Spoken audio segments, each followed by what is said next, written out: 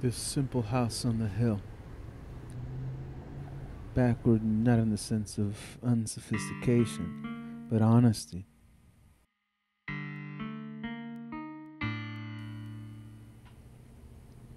On the third day, a yell was heard. Some described it as a moaning holler, others as a mysteriously quiet scream that all could hear.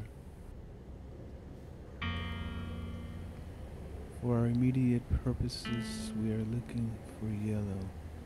A yellow. She doesn't know how close she is to being hit by that bus. Let me slow down a bit. I'll begin in the middle,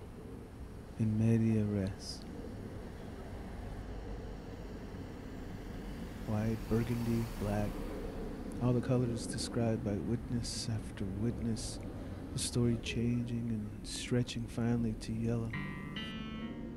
Finally to yellow.